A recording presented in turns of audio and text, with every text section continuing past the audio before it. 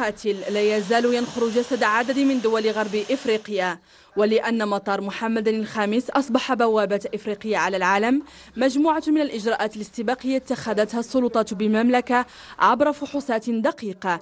تبدأ بمعاينة حرارة المسافرين القادمين من المناطق التي ينتشر بها الوباء إلى المتابعة السريرية في حال ظهور بعض الأعراض. ولخطورة هذا الداء الفتاك كان قرار المغرب بطلب تأجيل التظاهرة الكروية.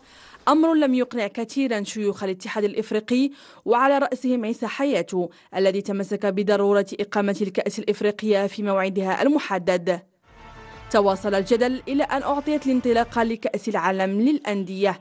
حفل السنة كان مبهرا أو أنسان شيئا ما كارثة حفل الدورة السابقة لكن الفضيحة كانت أكبر عندما تحول المركب الرياضي مولى عبد الله إلى ما يشبه المسبح حفر وبراك مائية بكل رقعة من عشب الملعب.